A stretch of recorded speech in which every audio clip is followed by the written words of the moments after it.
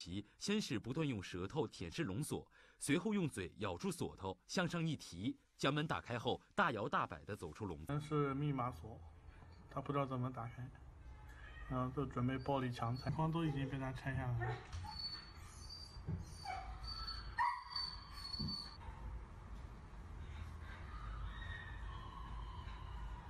这只哈士奇再次做出令人诧异的举动。只见他走到另外两个笼舍旁，用同样的办法打开笼门，放出了另外两只原本关在里面的小伙伴。